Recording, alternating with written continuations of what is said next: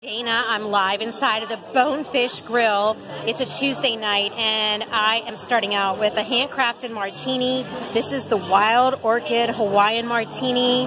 There's guava rum and pineapple juice and coconut water and dessert pear and coconut, and it's just delicious. And yes, that is a floating delicious orchid. More to come.